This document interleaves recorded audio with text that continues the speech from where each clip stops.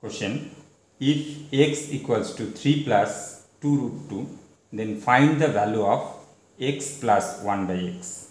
Here it is given that x equals to 3 plus 2 root 2.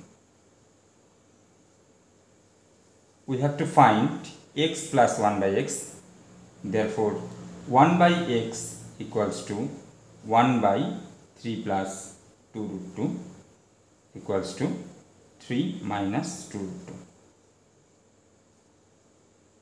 Therefore, x plus 1 by x equals to 3 plus 2 root 2 plus 3 minus 2 root 2. Putting the values of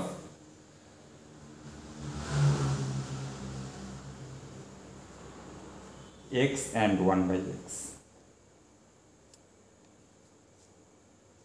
minus 2 root 2 plus 2 root 2 cancel equals to 3 plus 3 equals to 6 answer.